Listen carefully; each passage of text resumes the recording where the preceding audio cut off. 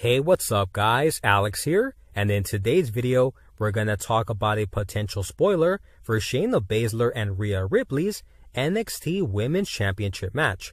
But if you're new here, don't forget to subscribe to our channel for daily wrestling news.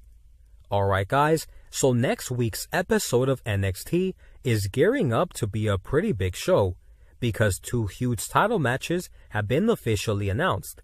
The first match is between Adam Cole and Finn Balor for the NXT Championship, and the second match is between Shayna Baszler and Rhea Ripley for the NXT Women's title.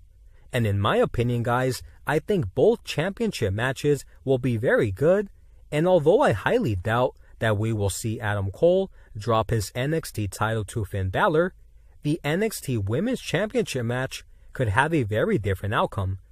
Because according to Dave Meltzer of the Wrestling Observer, there seems to be two major reasons why we could potentially see the end of Shayna Baszler's title reign as NXT Women's Champion. The first reason is because Rhea Ripley currently has a ton of momentum at this time, and also because she's the most believable NXT superstar to dethrone Shayna Baszler. And the second and most likely reason is because the company really wants Shayna Baszler on the main roster because they see her as a Ronda Rousey type of character. Therefore, right now would be the best possible time to go through with those plans. Do you guys think Shayna Baszler will drop the NXT Women's title to Rhea Ripley next week? Let me know in the comment section down below. Thank you guys so much for watching, and as always, have a wonderful day.